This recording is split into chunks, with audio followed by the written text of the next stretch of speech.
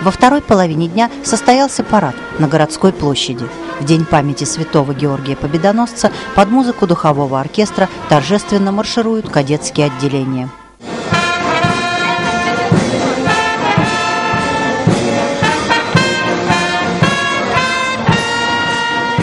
С праздником воспитанников кадетского корпуса поздравил глава города.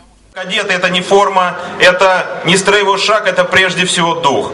Дух для служения отчизне, дух умения подставить крепкое плечо товарищу. И вот именно этот дух должен оставаться до самого конца нашей жизни, потому что именно он помогает нам, нам быть крепкими, упорными и гордыми за свою страну. Я хочу поздравить вас особенно вот именно в этот день, потому что вы учитесь в этом кадетском корпусе, и пожелать, чтобы у вас все было для того,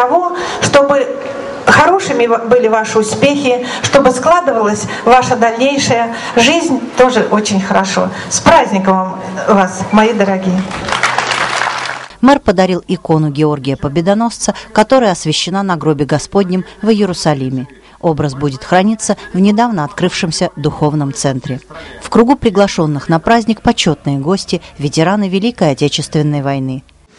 Я поздравляю с этим праздником, желаю вам хороших успехов в учебе, в труде и в личной жизни. На церемонии подвели итоги года. Почетными грамотами наградили кадет, которые отличились на областных и региональных олимпиадах. Кроме того, команда завоевала переходящий кубок в спортивных состязаниях. Отметили и преподавателей. За многолетний труд наградили учителя истории Ирину Полянскую. Также поощрили весь личный состав кадетского корпуса. В День памяти Георгия Победоносца всем объявлена благодарность. Многих произвели в очередной офицерский чин. Воспитанники получили новые кадетские звания.